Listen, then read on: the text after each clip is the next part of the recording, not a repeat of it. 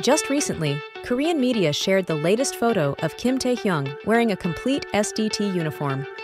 It turns out this is for the promotional video of the 2nd Army Corps in Chuncheon, Gangwon-do, in which Tae-hyung will appear. According to officials, the video will be uploaded to the YouTube channel run by members of the Corps. In the video, BTSV is seen practicing shooting in an urban area. Kim Tae-hyung, wearing a military police patched uniform, captivates everyone with his dignified appearance and his strong and sharp gaze like an eagle stalking its prey.